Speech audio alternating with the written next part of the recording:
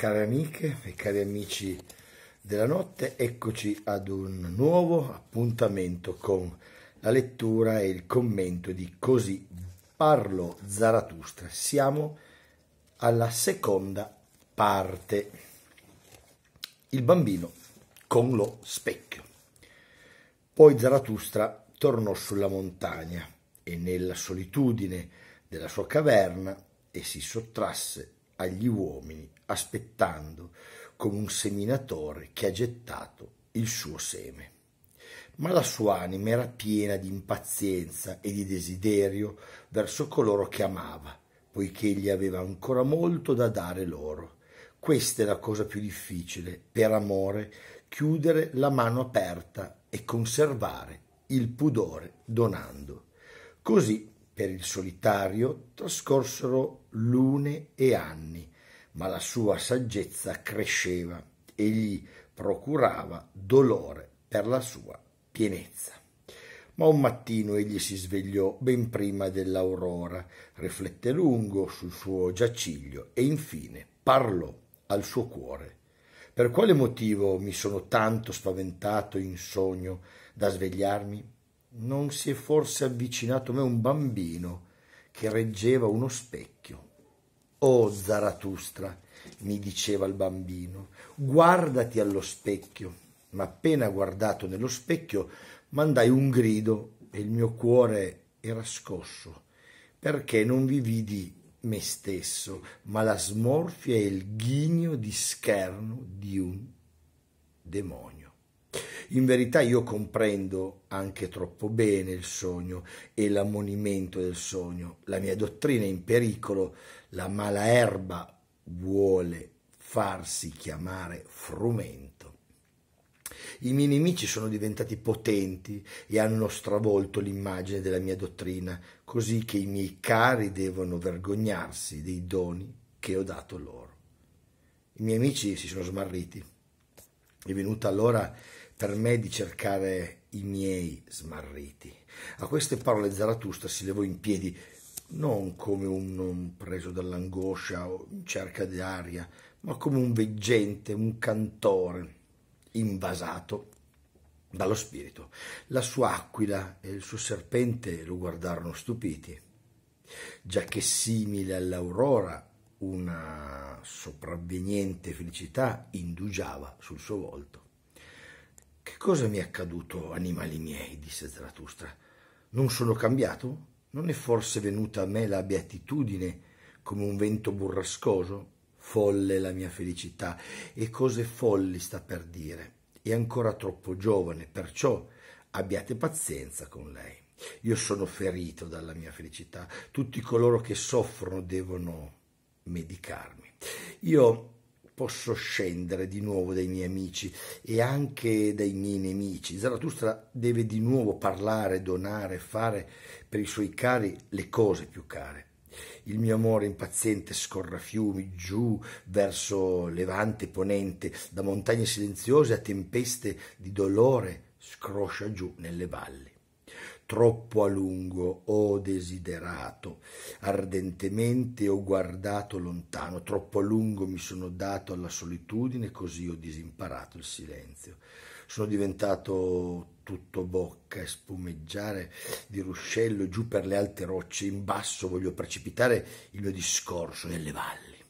E il mio torrente d'amore precipiti pure per vie impossibili come potrebbe una corrente non trovare infine la via verso il mare?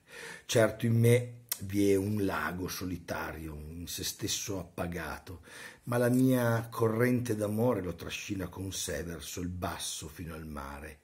Io percorro nuove strade, un nuovo discorso mi sovviene, come tutti coloro che creano mi sono stancato del vecchio linguaggio. Il mio spirito non vuole più camminare su suole consumate. Troppo lento scorre per me ogni discorso. Salto sul tuo carro tempesta e anche te voglio frustare con la mia malvagità. Come un grido esultante voglio dirigermi sopra i vasti mari fino a trovare le isole beate dove dimorano i miei amici e tra loro anche i miei nemici, come amo ora tutti quelli a cui posso parlare. Anche i miei nemici fanno parte della mia beatitudine. E se voglio montare sul mio cavallo più selvaggio, sempre la mia lancia mi aiuterà a farlo nel migliore dei modi. Essa è il servitore sempre pronto del mio piede. La lancia che scaglio contro i miei nemici, come ringrazio i miei nemici del fatto di poterla infine scagliare. Troppo grande era la tensione della mia favola. Fra le risate dei fulmini voglio gettare giù nel profondo rovesci di grandine. Il mio petto si solleverà allora poderoso, poderosa soffierà la mia tempesta verso i monti, così gliene verrà sollievo. Davvero simile a una tempesta giunge la mia felicità e anche la mia libertà ma i miei nemici devono credere che il male imperversi sopra le loro teste. Sì, anche voi sarete spaventati, amici miei, della mia saggezza selvaggia, forse fuggirete via insieme ai miei nemici. Ah, sapessi invogliarvi e tornare indietro il suono di un flauto pastorale, ah, se, se imparasse a ruggire delicatamente la mia saggezza leonessa e molte cose abbiamo già imparato insieme. La mia saggezza selvaggia è diventata gravida su montagne solitarie, su ruvide pietre ha partorito il suo più recente fresco frutto. Ora corre come pazza per il deserto ostile e cerca, e cerca teneri prati. La mia vecchia saggezza selvaggia, sui teneri prati dei vostri cuori, amici miei, sul vostro amore, essa vorrebbe adagiare ciò che ha di più caro. Così parlò Zarathustra. Siamo nella seconda parte e ancora una volta Nietzsche sfoggia tutta la sua bellezza poetica, tutta la sua maestosità di, di scrittore. Moltissime anche in questo caso le immagini di un viaggio che sta iniziando, perché poi prossimo capitolo, paragrafo, si intitolerà proprio sulle isole beate a cui aspira, a cui giunge Zarathustra. Zarathustra ha abbandonato la città e si è dunque rifugiato per parlato ai marinai, ai cittadini, agli uomini dei boschi, ai saltimbanchi, agli abitanti dei villaggi, si è rifugiato momenti in montagna, solitario, e sta per tanto tempo in montagna, perché lui ha gettato un seme, ha gettato un seme agli uomini. Zarathustra, il primo profeta dell'umanità, è tornato per annunciare la fine degli dei, la fine dell'Occidente, il crepuscolo della, della metafisica, delle illusioni, delle menzogne di Dio, per annunciare l'avvento dell'oltreuomo. Ha gettato questo seme ed è un seme molto, molto ricco, fertile, va, va accudito, va va atteso. E la sua anima si è riempita, si è riempita, è salita, e la verticalità in Nietzsche è salita, no? è una bellezza ripiena. E Zarathustra appunto è, è, è, pieno nel cuore, nel cuore, proprio perché ha compiuto un gesto eh, seminale, un gesto fondativo, ha annunciato l'avvento dell'oltreuomo. E qua fa un sogno, dice di aver visto un bambino, Zarathustra, un bambino con uno specchio, no? il bambino che mette essere l'emblema anche dell'oltreuomo, l'uomo che da cammello si fa leone, poi si fa bambino, da sopportatore, reggitore, faticatore della, del, del, mondo, cioè uomo che ha rinunciato agli spiriti vitali, al dionisiaco, alla, alla bellezza del, del, della ribellione, della volontà, l'uomo del, tu devi perché devi. Hm?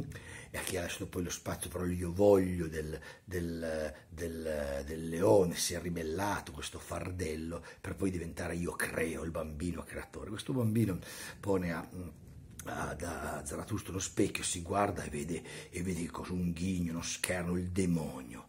Io comprendo anche troppo bene il sogno e l'ammonimento, la mia dottrina è in pericolo, la mala erba vuole farsi chiamare frumento, la mia dottrina è in pericolo, quello che io ho insegnato può essere avvolto dalla mala erba, però può essere avvolto dalla mala erba che però al contempo vuole farsi chiamare frumento, cioè la, la morte, la rinuncia alla vita, il, la menzogna, assumono però il volto della vita, del pane, dei, dei, dei, valori, falsi valori si presentano come valori e dunque c'è un, un ammonimento, un ammonimento perché i nemici sono diventati potenti e hanno stravolto la sua dottrina, la vogliono appunto stravolgere, la vogliono, la vogliono negare. Dunque fratelli miei, st- devo stare attento, fratelli miei, tutto può cambiare. Io non sono cambiato, non è forse venuta a me la beatitudine come un vento burrascoso, sono folle, sono felice. Questo monumento devo tenerlo presente, ma, ma, io, ma io adesso ardo, io sono fuoco, sono diventato tutto bocca spumeggiante, sono ruscello perché io sono disceso come un fiume a valle, tutto ho, ho travolto. Certo, in me vi è un lago solitario, in se stesso appagato, una corrente d'amore lo trascina.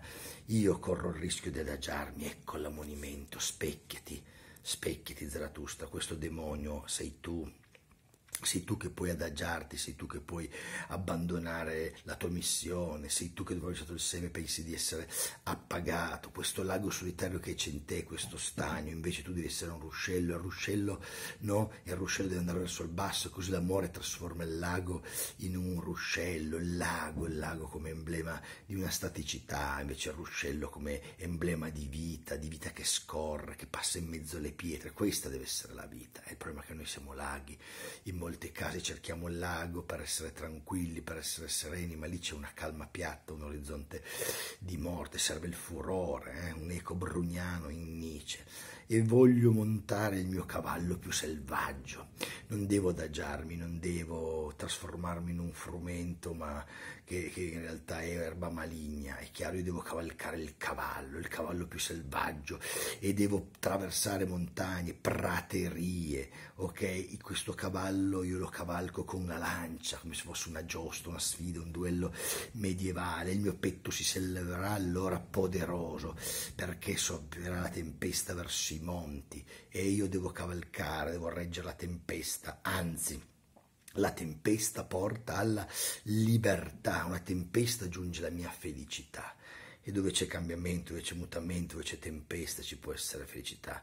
Non parliamo però di guerra, non stiamo parlando di marinetti della guerra come no, igiene della storia o come Hegel, no? la guerra che stabilisce chi è forte, chi è, chi è razionale, chi è debole, chi è irrazionale, che stabilisce noi vincenti e perdenti. Qui parliamo della tempesta, una tempesta interiore, c'è un filosofo, una tempesta interiore, una tempesta filosofica, morale, emozionale emozionale, questo ci sta dicendo Zarathustra, bisogna cavalcare la tempesta, bisogna cavalcare il cavallo selvaggio, vivere nella tempesta, nell'occhio del ciclone, perché lì c'è la libertà, c'è la libertà, la saggezza è una leonessa, non è appunto un animale timorato e timoroso, la saggezza è leonessa, è una saggezza che diventa gravida sulle montagne solitarie, perché la saggezza non deve essere sterile, la saggezza è una saggezza gravida, che ingravida, non una saggezza dunque tenuta eh, in sé per sé, appunto una saggezza sterile, una saggezza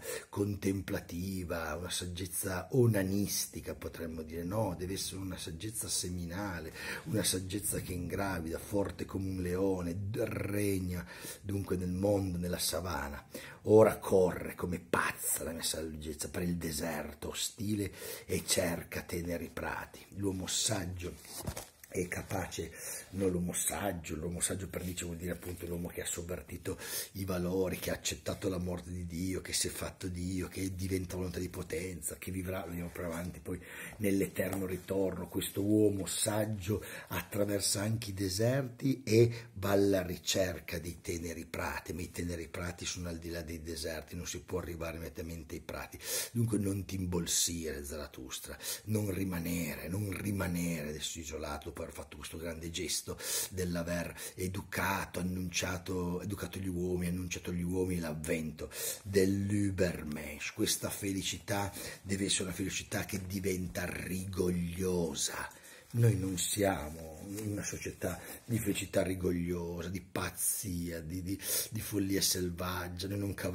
non cavalchiamo cavalli selvaggi, marronzini, noi, noi siamo chiusi in scatoletti in automobili a avvolgere le nostre vite, vite appunto di una regolarità che non è appunto impeto, che non è eros, che non è, che non è forza, non è tempesta, non è, non, è, non è, ruscello ridondante, non è verticalità, ma è, ma è appunto una, un, un appiattimento. Probabilmente continuo a ripeterlo, Nietzsche ha veramente colto il male intimo della modernità, per questo di fatto un antimoderno che è appunto la mediocrità. E come antidoto c'è la nostra pillola quotidiana di Übermensch che io invito sempre a prendere, una pillola ogni sera di Übermensch, non vuol dire essere gradarsi boriosi, presuntuosi, vuol dire vivere però andando un po' al di là del limite del, dell'uomo, provare ad andare oltre l'uomo, provare a a rapportarsi alla vita con slancio, con forza, con creazione,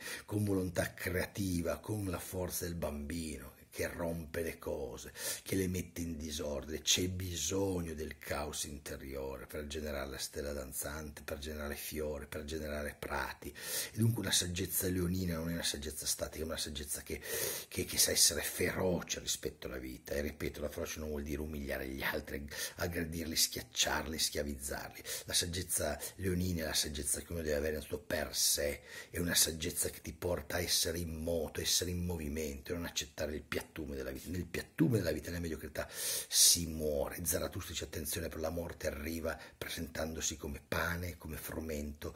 La morte arriva presentandosi come vita ed è una piccola morte quotidiana, quella che annebbia il dionisiaco, uccide il dionisiaco e vuole anestetizzare l'incipiente Übermensch. Prossimo appuntamento con Nietzsche con la lettura del paragrafo sulle isole beate. Buonanotte, ci vediamo nei prossimi giorni, spero con video di storia, di filosofia, sono gli ultimi giorni di scuola, dunque sono le ultime video lezioni e poi continueremo d'estate con le rubriche. Scrivete sotto cosa vi piacerebbe, sono già tantissime richieste, c'è ancora Leibniz, Husserl, è arrivato richieste eh, chiaramente sulla scuola di Francoforte, su Heidegger, su ancora Sartre, voi scrivetemi sotto, io man mano, appena riesco, può realizzare video lezioni per eh, continuare a costruire la grande comunità di Barba Sofia. Buonanotte a tutti.